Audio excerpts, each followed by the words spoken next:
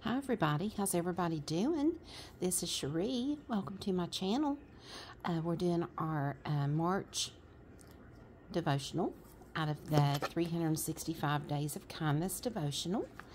And uh, today's is on family fun. And let's see what it has to say about that. This is going to be a good one. In Exodus 15:20, this is out of the ESV. It says, Then Miriam, the prophetess, the sister of Aaron, took a tambourine in her hand, and all the women went out after her with tambourines and dancing. Your family is usually the safest place to be yourself. You can wear whatever you want, cry whenever you want, and be silly without worrying about their judgment. The scene this scripture depicts is one of joy and togetherness. Celebrating with family can mean a whole lot of laughter, and this is how God intended us to be toward one another. We are created to love deeply and laugh loudly, and if you are not surrounded by your family because you are living in a different state or even country, or because things are unfortunately dysfunctional, Find some close friends who can become like family. Thank God for the gift of close friends. And the act of kindness is send a fun card to a close friend or family member. And I love my family. As a matter of fact, it's talking about family fun. This weekend, uh, I've got planned a big family uh, get together at a restaurant, kind of close to everybody. And um, a lot of my family will be there and um, we always have fun. It's my dad's side of the family, and uh, we always laugh and cut up and carry on. I mean, we kind of get loud, even at funeral homes. Sometimes we get loud at funeral homes. We don't mean to, we just do. So, me and my cousin, one of my cousins, we always get in trouble at the funeral home. My dad will call us down sometimes because we giggle a little too loud. We don't mean to. It's just stuff's funny sometimes. I mean, we don't mean no disrespect or nothing, but it's just kind of what we do. And everybody understands it because we're all the same way. But um, anyway, we do have a lot of fun and we laugh a lot. And uh, we laugh loud and hard. And we just have a good old time. So I cannot wait until Saturday when we all get together because we will have a great time. And that says this is how God intended us to be toward one another. We need to laugh. Don't be afraid to laugh. Don't be afraid to hee haw from the tip of your toes. There is nothing wrong with that. I'm sure Jesus laughed. He, I'm sure he did with his brothers, his friends.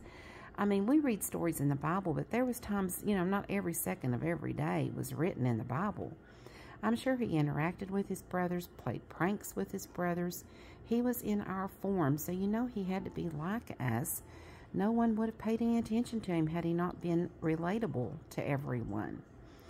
So don't be afraid to have fun. And like it says on here, if you're not near your family, that's okay. I'm sure you have close friends. Um, you know, they're like family. So anyway, um, make sure that you do that, that you are involved in your family and that you get together when you can. And these days we've got um, messenger video and all kinds of stuff where you can see each other and talk to each other live, you know, and that's great too. As a matter of fact, I might try that if I don't forget this time to call up some of my family that our family that's not here and maybe pass the phone around or whatever and let everybody talk. Or I might try to film some of us a message to them and send it to them later if I don't forget. but um, anyway, it's hard having family away from here. And as everyone gets older, we can't always travel back and forth like we used to. So, you know, there's sometimes you just know you're probably never going to see them again. And it's sad, but we can still talk on the phone. And like I said, video chat. You know, it's okay. Uh, God's just blessed us with each other, and we just need to go with that. Now, um, this Bible, uh, I had uh, several of you all ask me about this Bible. Now, I put these two stickers on it. If you're trying to find it, as you can see, that's a sticker. Where am I at? That's a sticker, and that's a sticker. The Bible comes without these two. It's a cross, and it says Help Finder Bible. Okay. And um, I've heard uh, a couple of you all have let me know that you have ordered this Bible and I'm so glad because it is a great Bible. Uh, I was going to try to show you the ISBN numbers. I didn't know everybody'd be so interested in it, or I would have showed you that last night. But I've had this for a little while. But those are two of the uh, two. those are four of the ISBN numbers.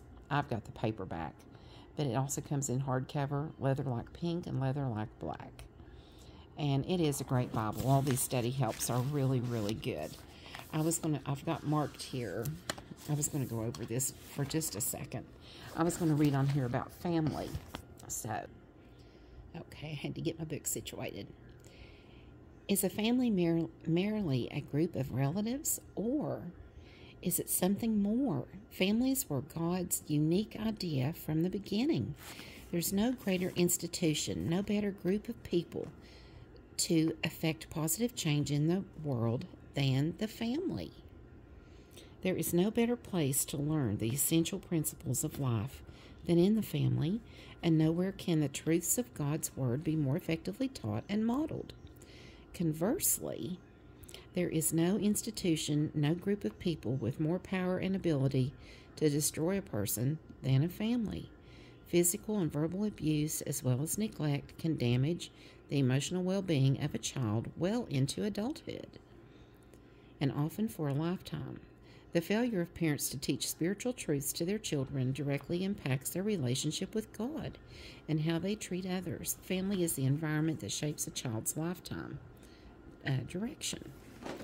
And on here it has um, it has different verses here and things about family. And uh, the Bible talks about both an earthly family made up of a husband, a wife, and sometimes children. Let me get you lined up here and the family of God, which is all believers united together by the bond of faith. It also says the Bible lists several genealogies, all recorded by family units, showing the family as central and fundamental to the development of people and of nations. Nowhere can truth be more effectively taught and modeled than in the family. And the family is one of God's greatest resources for communicating. Let me find you here. I'm sorry. I'm trying to show this to you and read it too off of the book. Okay. The family is one of God's greatest resources for communicating truth and uh, effecting change in any community. This change is directly related to the family's spiritual commitment and seal. And children are a wonderful blessing. That's true and for a variety of reasons, you may not be part of the same legal family throughout your lifetime, having the same spouse, siblings, etc. Whatever family you find yourself in, your responsibility is to love them with all your heart and model the ways of God. The kind of legacy will yield beautiful fruit for generations. And there's some of the things on that you want to pause that.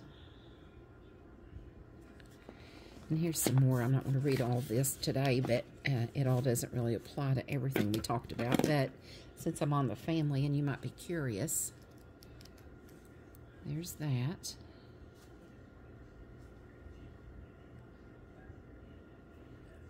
Okay.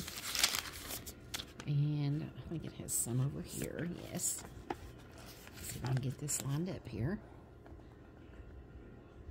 Now, these videos are not as easy as you think they are.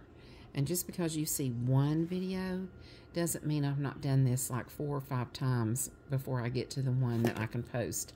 So I'm just letting you know. No, I'm not a professional, but I do try. but I've told you from the beginning, you get what you get with me. And that's just how it is. I don't edit. I don't do a whole lot of stuff on here uh, what you see is what you get because that's how I am, and that's what you'd see if you were sitting here with me. So, um, you know, that's just the way it is. Um, but I hope you liked this video and got something from it. But remember your family and remember to um, get in touch with your family. Send them a note, a card, a phone call, text message, whatever you want to do, video chat. Uh, I've called a couple of people in my family that I hadn't talked to in a while this week, actually. And uh, that was really nice. So, just take time out of your day and get that done, and you'll be glad you did. So remember to live, love, laugh, and laugh some more because laughter's the best medicine. and we'll hopefully, Lord's will, be back here real soon, hopefully tomorrow, to bring you another devotional. We've only got a few left. We've got, um, let's see, Friday, Saturday, Sunday, and that's it. Monday is April 1st. So, anyway, I hope you all have enjoyed these. I've enjoyed your comments and your encouragement. I really appreciate your thumbs up. That encourages me. Uh, your comments extra extra encourages me. So um, just like, subscribe if you're not already, and I will be back here real soon. You have a great day. Bye bye.